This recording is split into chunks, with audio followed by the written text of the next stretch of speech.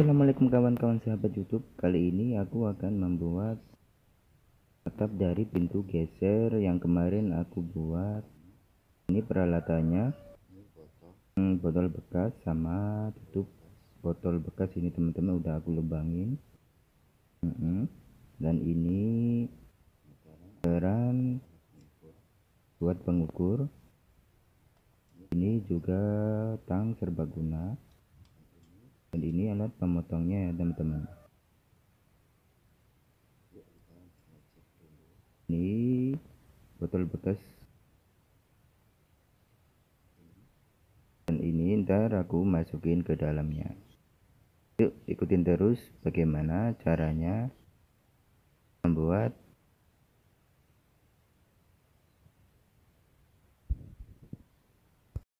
pembuatan sangkarnya atau membuat untuk sangkar burung. Ini ini buat penyangganya aja di sini ya teman-teman. Seperti ini. Ini aku masukkan. Hmm, ini dulu. Nah ini buat atasnya biar kalau ada semut yang masuk ini aku kasih spon biar ntar dan dikasih minyak biar ntar kalau ada yang masuk atau semut bisa terhindar ya teman-teman. Atau bau dari minyaknya tadi. Ini dikasih jarak sekitar dua sekat dari lubang ya teman-teman. Seperti ini. Ntar kita pasang seperti ini dan kita beri lubang di sini teman-teman. Ini dikasih lubang. Ntar kita ukur pakai meteran jaraknya berapa sentimeter dari lubang ini ya teman-teman? Ntar kita potong ini. Kita potong sekitar dua lubang aja. Ini.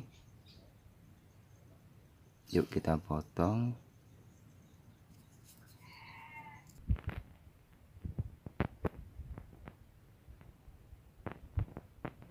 oke kita potong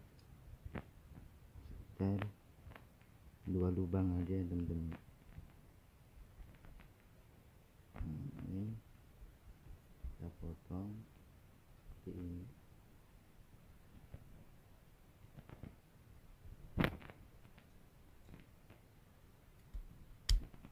Nah, seperti ini. Sekitar 70 6 cm ini teman-teman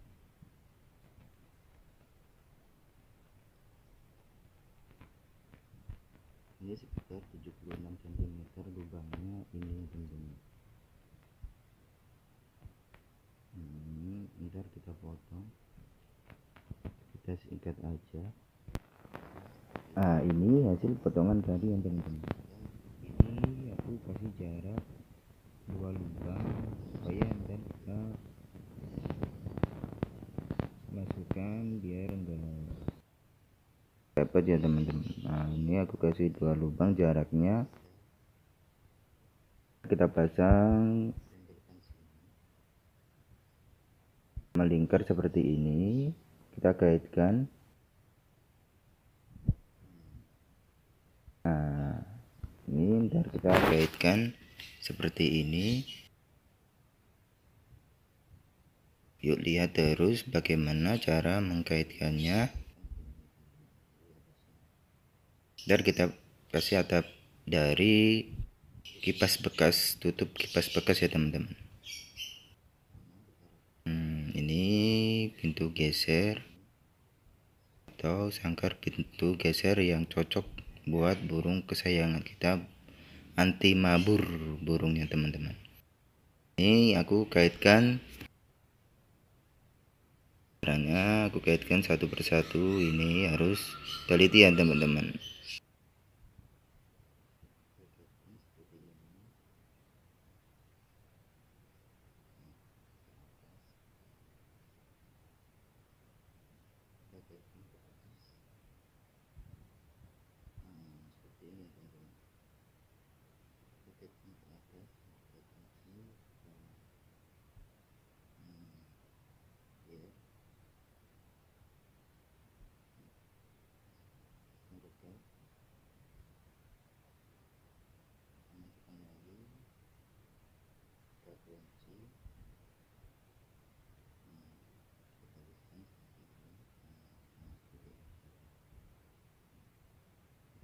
terusin sampai ke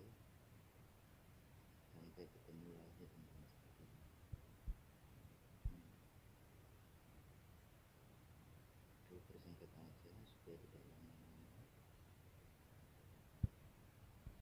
hasilnya seperti ini ya teman-teman. Hasilnya seperti ini. Melingkar.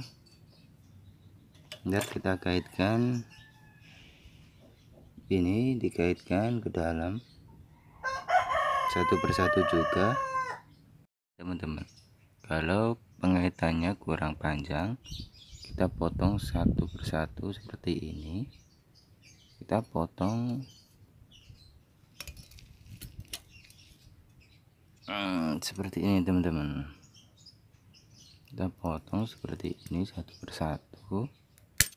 Nah seperti ini. Kalau kurang panjang kaitannya dengan atapnya ini ntar kita kaitkan. Kita potong seperti itu kita taruh supaya tidak dipendekan. Jadi agak panjangan ya teman-teman. Supaya lebih erat kalau mengkaitkan. Yuk kita persingkat aja. Ntar kita pasang ya terus bagaimana pemasangannya? Hasilnya seperti ini teman-teman. Ntar kita pasang. Hmm, ini buat tempat kaitannya ke atas. Kita pasang di sini. Aku pakai botol bekas. Sama tutup bekas ini aku lubangin. Dan juga ini juga aku lubangin. Ini yang atasnya aku potong. Terlihat hasilnya teman-teman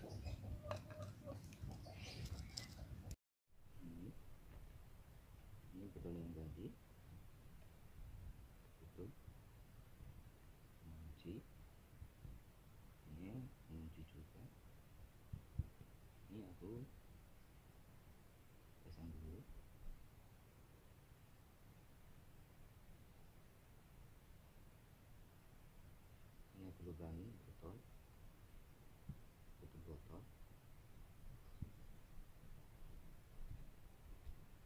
ini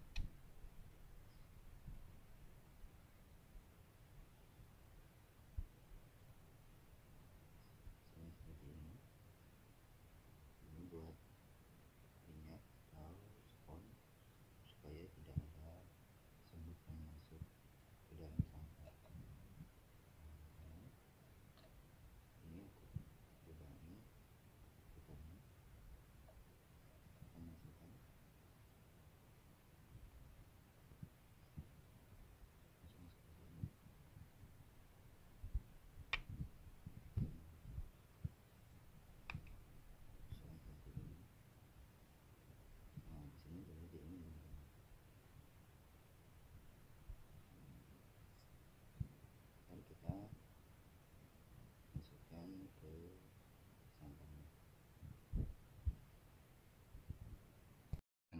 udah jadi tadi.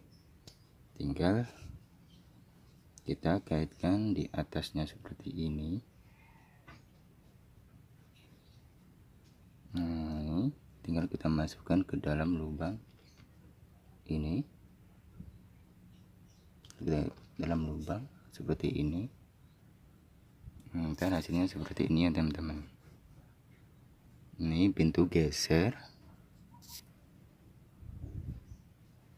yuk kita rakit lagi.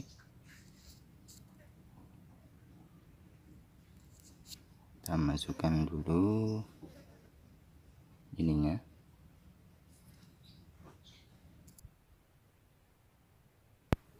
Ah ini aku masukkan penguncinya.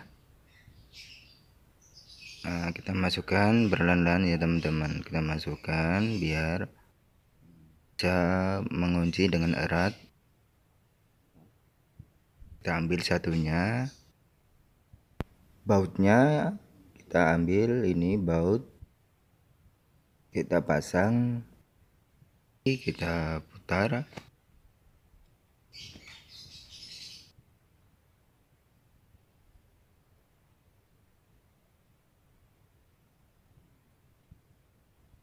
Nah, udah selesai teman-teman.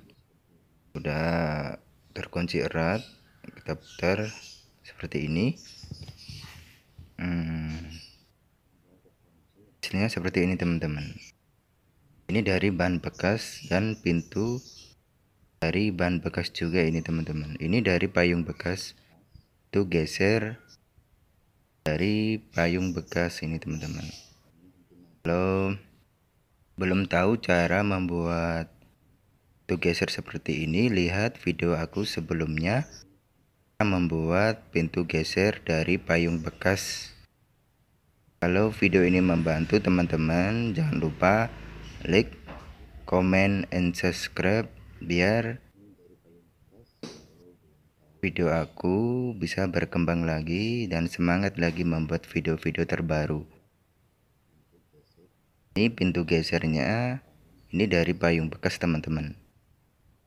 Terima kasih teman-teman udah nonton sampai akhir.